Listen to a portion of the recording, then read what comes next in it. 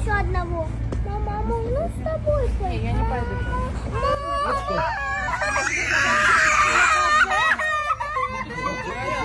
assalomu alaykum barcha youtube tomoshabinlari sizlar bilan har doimgidek mansurbek va siz yo'lbars tv kanalini tomosha qilyapsiz hurmatli aziz obunachilar bugungi videoroligimizda anchagina internet tarmoqlarida shov shuv bo'ldi ya'ni qo'shiqchi aktrisa desak ham bo'laveradi ruhshona mana mana ko'rib turganinglarda shu tarafda rasmi chiqdi ruhshona hozirgi paytda ikki nafar farzandi bor va qanaqadir bir rejissyorni prodyusergami prodyuser bilan hayot qurishgandi no hozirga kelib ularni hayoti videomizni boshida ko'rganinglardek э, bilar toshi parchalangandek parchalanib ketdi. Da bu narsani bizga nima qizig'i bor deyishinglar mumkin lekin ko'p narsani xalq hal qiladi. Shuning uchun albatta o'zinglarni fikrlaringizni kommentariyaga qoldiringlar o'rtoqlar ushbu videoni подробнее boshidan oxirigacha qo'yib beraman.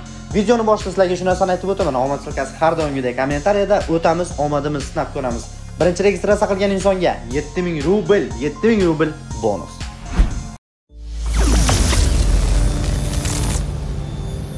Preview.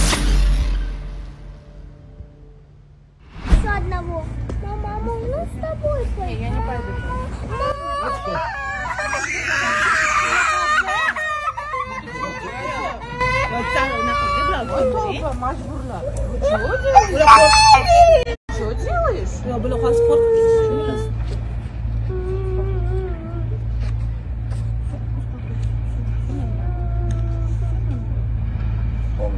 Мама кетмәгән.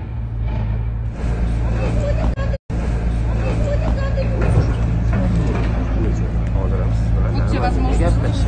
Вот тебе возможность. Вот тебе возможность.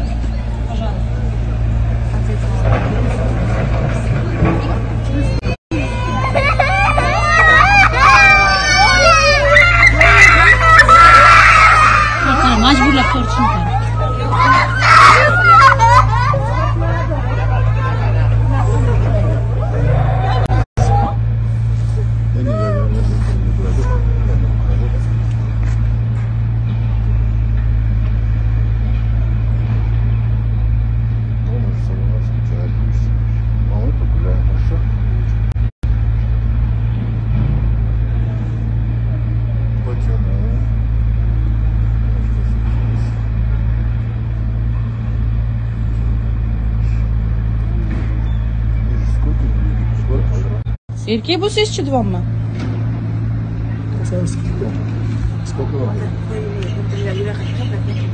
borasizlarmi Ha, bu yoqqa kelinglar. Yo, turinglar. yo'q mana qaranglar biza sizlarchi anaqa yomon urushib anaqa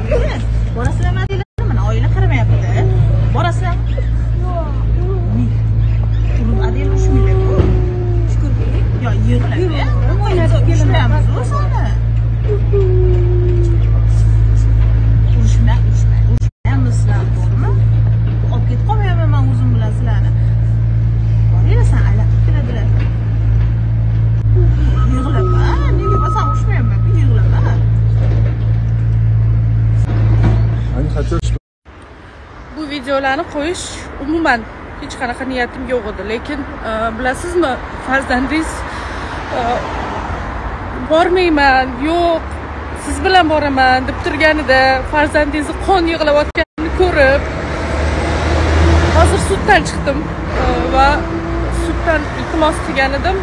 Vaqtni qisqartirib beringlar iltimos mayli. Ko'rishsin otasi bilan ko'rishga mani umuman qarshiligim yo'q lekin haftada bir marta ko'rish kerak. Shanba kuni olib ketib yakshanba kuni olib kelish kerak lekin bolalar u bilan ketmayapti. Man iltimos qildim iltimos. Mayli ikki haftada bir marta ko'rishsin ikki soat ikki soat. Bola ozgina kunish kerak ozgina o'rganish kerak desam bu inson bilmayman. Mamlakatimdan ketimdan shunchalik yomonlab hammaga borib e, o'sha tarqatgan videoni ko'rsatib olti oy bo'ldi. Olti oy mobaynida. Sizlarga imkon qadar bildirmasdan yaxshi yurishga harakat qildim. Ko'z yoshimni ko'rsatmadim. Kuchli bo'lishga harakat qildim. Lekin e, farzand masalasiga kelsa har bir ayol oxirigacha kurashadi. Har bir ona oxirigacha kurashadi farzandingiz. Ana u yerda iltimos oyi shanba yakshanba kuni u bu joyga ketaylik adajon yana kelib qolmasinlar degan paytda yuragingiz yorilib ketadi sho'lingiz zil ketadi lekin bu inson o'zini farzandlarini ruhiy holatini psixologik holatini o'ylamasdan faqatgina shu joyda ham yutib ketishni o'ylayapti. To'g'risi e, hayotimda juda ko'p narsalar bo'lib ketdi sizlar bilmaydigan juda ko'p. Ammo imkon qadar bildirmaslikka harakat qildim. Ro'vidama ro'vida sudma sud yurganlari har kuni prokuratura davlat xodimlari bilan gaplashib maslahatlashib turli xil dokumentlarni yiqqanlarim o'zimni va farzandlarimni himoya qilganlarim turli xil moskvaga ketganimda ham aynan shu videoni tarqatganda nechta odamni qon yig'latdi bu inson nechta ayolni qon yig'latdi bu inson. Qachon to'xtaysiz qachon? Bo'ldi iltimos qilaman. Katta odammiz.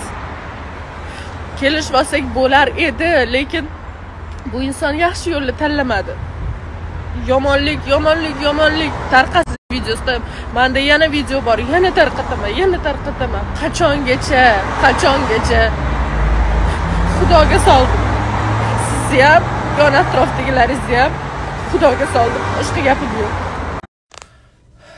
Mana olti oy o'tdi lekin biron marta biron bir gazetaga yoki saytga intervyu bermadim. Хотя e, jinoiy ish bo'yicha ham qolgan ishlar bo'yicha ham hamma dokumentlari hamma isbotu dalillari hammasi qo'limda bor. Lekin mayli qo'y. Bu bolalarim otasiku baribir degan narsa ushlab turardi. Lekin e, yaqindagina bir gazetada o'zim haqimda juda yam chiroyli intervyu o'qib qoldim. Qaysi gazetaligini aytmayman endi kim intervyu berganligini o'zinglar прекрасно tushunib bilib turibsizlar. Qoyil gap bo'lishi mumkin emas. Bir inson aytuvdi oxir zamon yaqinlashib kelyapti deb. Shunaqa bo'layotgan ekan. Ayollar bilan erkaklar o'rin almashib qoldi. Bizni vaziyatda aynan shunday. Mana aziz obunachilar ko'rib turganlaridek videoroligimiz ham o'z nihoyasiga yetdi.